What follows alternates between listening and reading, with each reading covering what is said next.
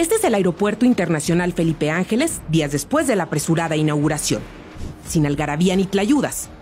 Sin ambulantes ofreciendo pósters del presidente López Obrador. Sin políticos tomándose selfies.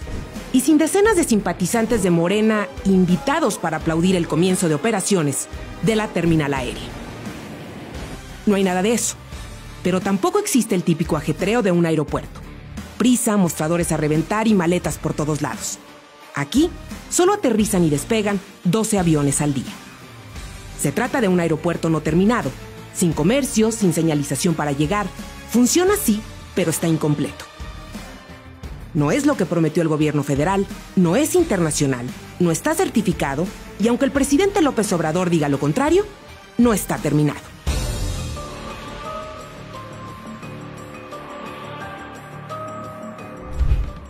Así comienza el traslado desde la alcaldía Benito Juárez de la Ciudad de México hasta el Aeropuerto Internacional Felipe Ángeles en el municipio de Zumpango, Estado de México.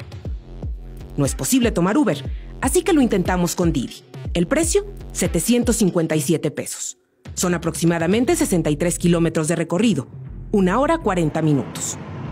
Estos espectaculares avisan que ya está cerca del complejo militar.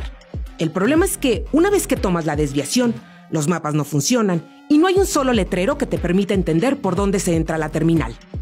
En este momento hay más espectaculares de la consulta de revocación de mandato que señalizaciones que eviten a los usuarios del AIFA dar vueltas y vueltas en medio de la nada, con toneladas de polvo y al final perder vuelos por el retraso.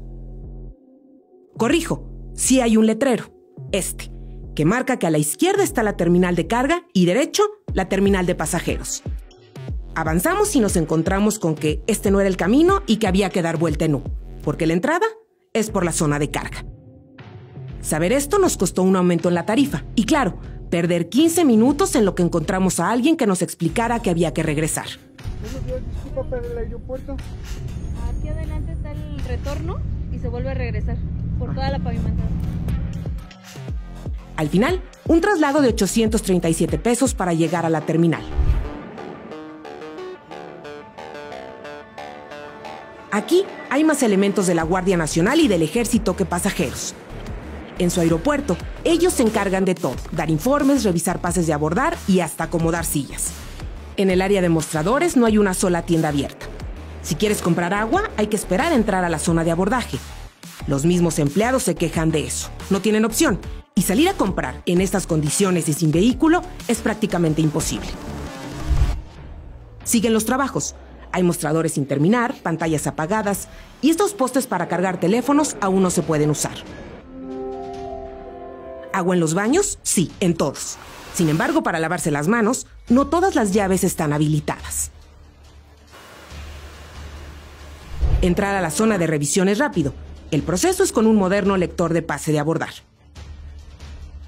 Pasando el arco, hay contadas tiendas abiertas. Aquí, por ejemplo, no hay bebidas frías porque no es posible conectar el refrigerador. No hay cortinas de metal para cerrar los comercios. Los empleados explican que ponen los productos lo más al centro posible del local y pegan unas cintas para evitar el paso. ¿Quién cuida la mercancía? Sí, también los militares. Donde sí está conectado el refrigerador, así está el piso y el techo. Es lo más parecido a una pequeña tienda de la esquina que no ha sido terminada. En este local hay puestos de artesanías, sin vitrinas ni anaqueles. Toda la mercancía se ofrece en mesas. Locales y locales vacíos. Ningún restaurante. El proceso de abordaje es ágil y como en la mayoría de los pequeños aeropuertos de playa, hay que caminar en la pista para subir escaleras y entrar al avión. No hay gusanos para abordar. Tamaño inconveniente para adultos mayores y personas con discapacidad. ¿Qué encuentras al aterrizar en el aeropuerto Felipe Ángeles? Primero, baños no habilitados. Los siguientes, cerrados. Hasta antes de recoger el equipaje, hay unos que sí funcionan. En estas condiciones se encuentran los locales de las arrendadoras de automóviles. Regresar en taxi a la alcaldía Benito Juárez cuesta mil pesos, más los 837 pesos del trayecto de ida, es casi el precio del boleto redondo a Monterrey.